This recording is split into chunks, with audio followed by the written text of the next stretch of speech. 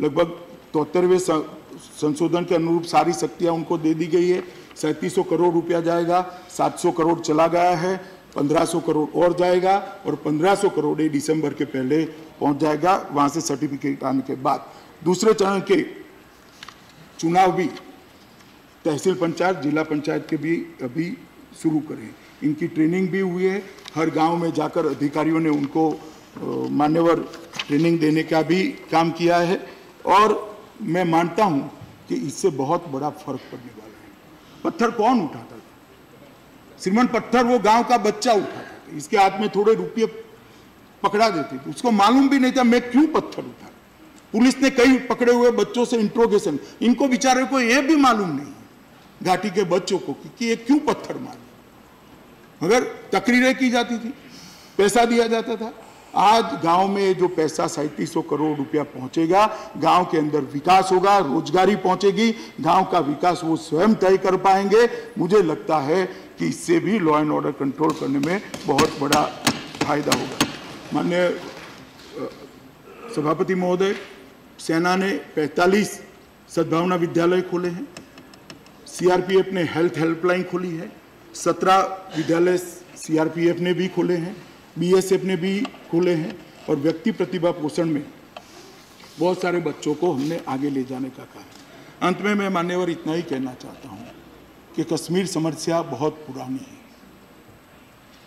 एक ही प्रकार की सोच से हम इसको आज तक सुनते आए इसको आज तक टैकल करते आए हैं।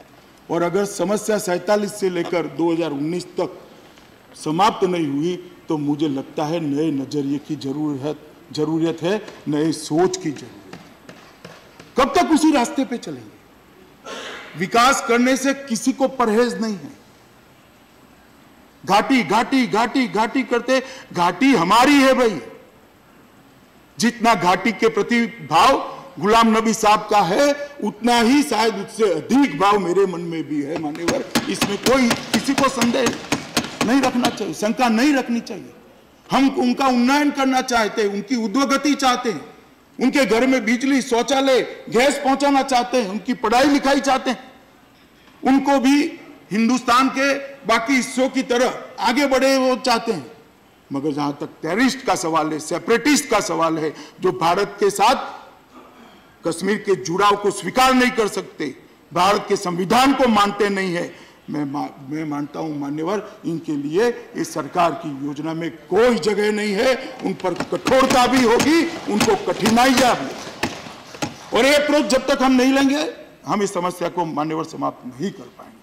और इसलिए मेरा सभी से अनुरोध है कि जो हम एक्सटेंशन लेकर आए हैं कृपया इसको पीछे से सरकार चलाने का हटकंडा मत समझिए।